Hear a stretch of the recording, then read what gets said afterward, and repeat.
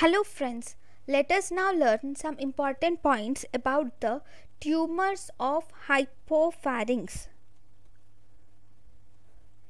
Tumors of hypopharynx can be either benign tumors or malignant tumors.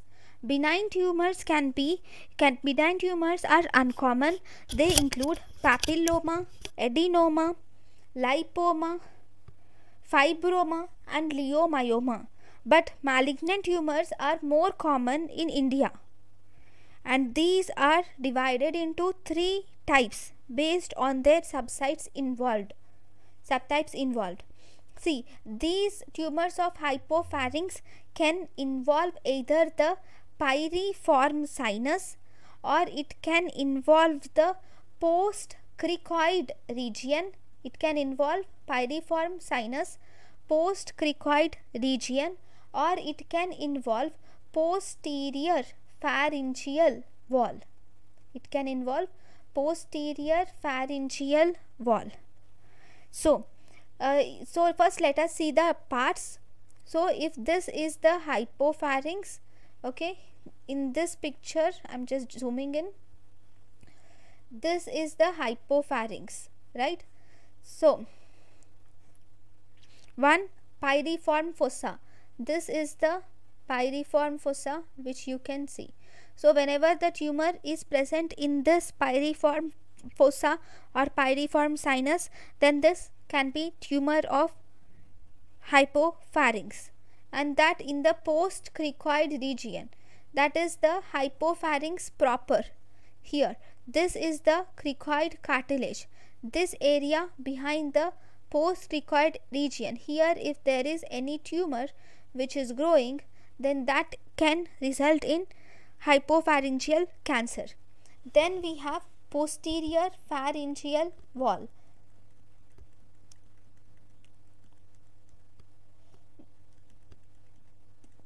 Now this is the posterior pharyngeal wall here this part. Tumor in this posterior pharyngeal wall can also result in the carcinoma of hypo pharynx right? Now I'll show you the pictures. These are from Netter's and At Netter's Atlas. Right. So if you see here so this is the tumor involving the pyriform sinus this is the picture showing the tumor in the hypopharynx uh, hypopharynx that too in the pyriform fossa. Even this is the tumor showing the cancer in the pyriform fossa.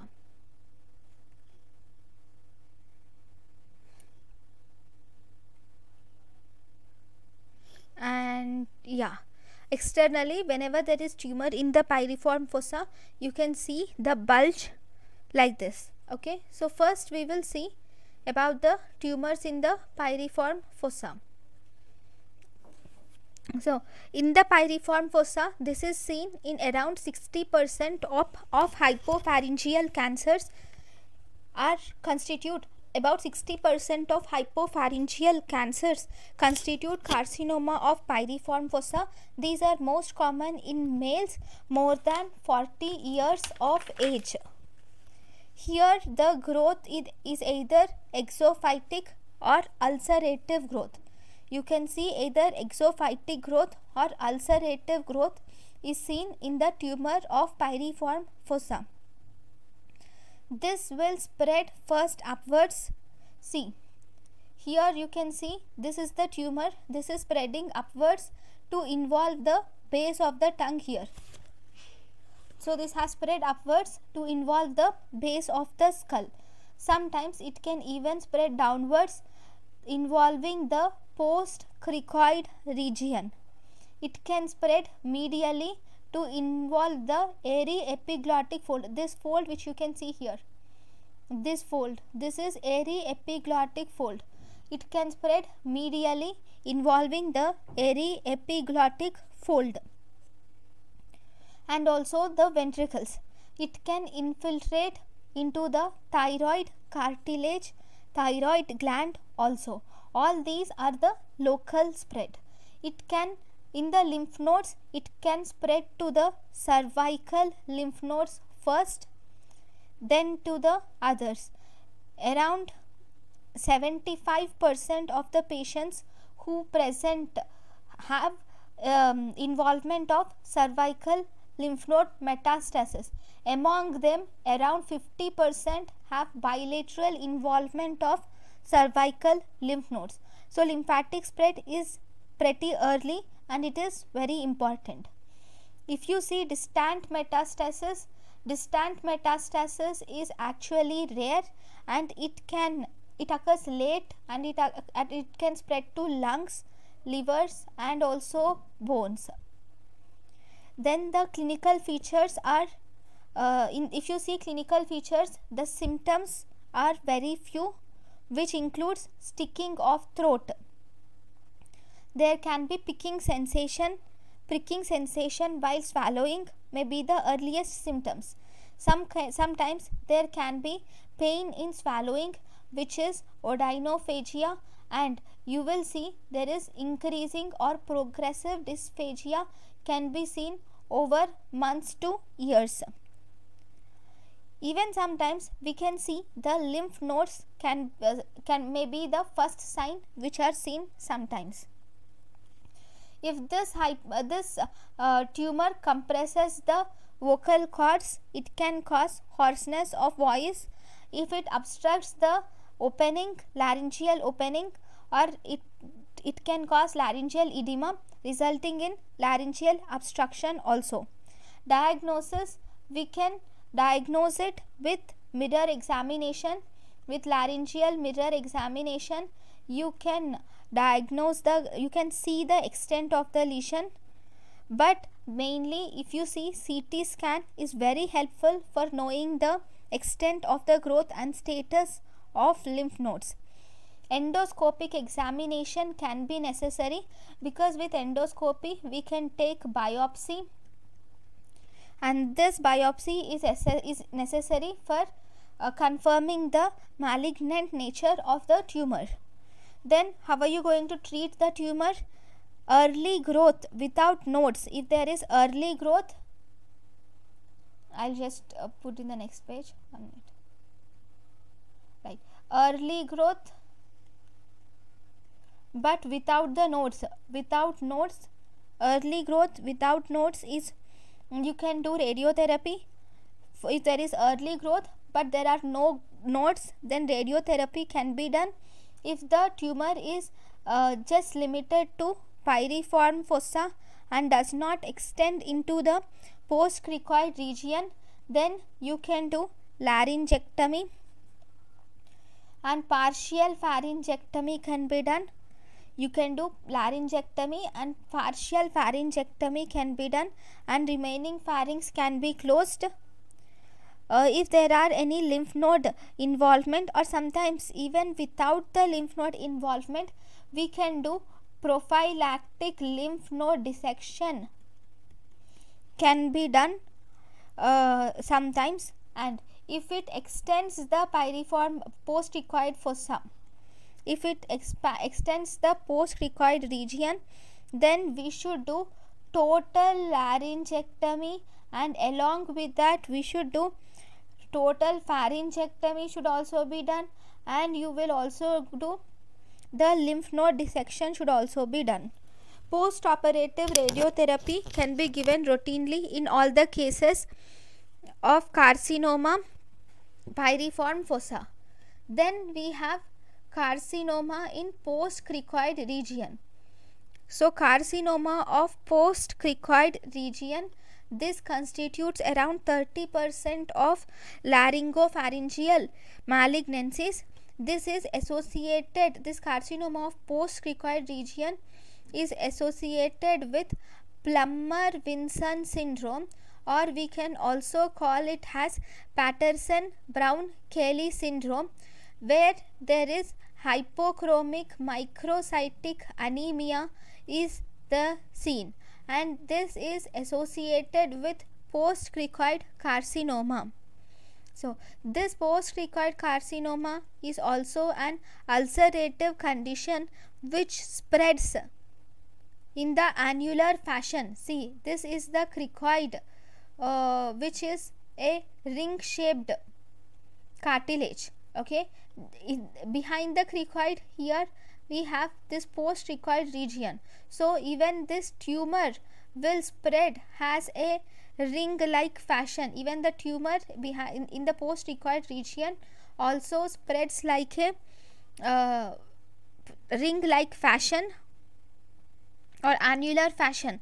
Because of this annular fashion or ring like fashion this will result in marked dysphagia it can even invade the cervical esophagus. It can invade the cervical esophagus which is present behind. And it can also invade the arytenoids and recurrent laryngeal nerve. So if you see the clinical features this post-cricoid carcinoma most commonly affects females that too in early 20s or 30s and here dysphagia is the main clinical symptom which is seen. Along with that there is mal because the patient does not eat so there will be malnutrition and there will be weight loss also. Because of dysphagia the patient fails to eat resulting in weight loss. If it uh, uh, if it invades the recurrent laryngeal nerve then there can be hoarseness of voice can be seen and it can even result in aphonia also. Now how are we going to diagnose it? Diagnosis of post cricoid region because it is deep you cannot visualize this under indirect laryngoscopy. Uh, so uh, you will have to do an endoscopy should be done to visualize the lesion and also to take the biopsy. We will have to do an endoscopy we can also do a lateral x-ray of lateral x-ray or radiograph of neck can be done. This will increase the prevertebral shadow. This will show increased prevertebral shadow. And in, some cases we can do barium swallow also. Then if you see the treatment here this is very poor prognosis because of the dysphagia and involvement of recurrent laryngeal nerve. This condition has poor prognosis with both radiation or with both surgery. In both these cases it shows poor prognosis. Some prefer radiotherapy initially. You can do palliative surgery in these cases with laryngo pharyngo esophagectomy where you remove the larynx, pharynx and esophagus and you will do a stomach pull up or colon transposition can be done. That is instead of this larynx pharynx pharynx and esophagus you will directly pull the stomach up. And uh, you can do or you can remove the colon and trans part of colon and transpose it in between in the resected region. Okay? So this is about the carcinoma in post cricoid region. This is the picture of x-ray uh, showing increased prevertebral shadow. See this is the vertebrae this is the prevertebral shadow which is increased so this is the picture showing increased prevertebral shadow in post cricoid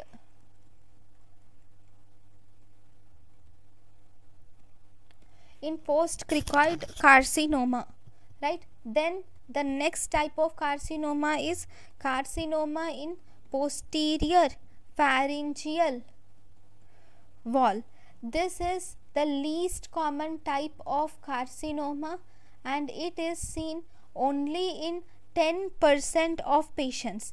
It is seen in males more than 50 years of age. This is an exophytic growth and also ulcerative growth.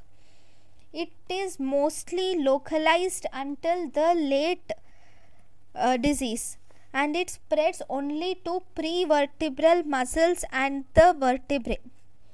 Then it can spread through lymphatic spread. This lymphatic spread is bilateral due to midline nature of the lesion. Around 50% of these patients have nodal involvement around in their initial examination. They have nodal involvement in their initial examination so if you see the clinical features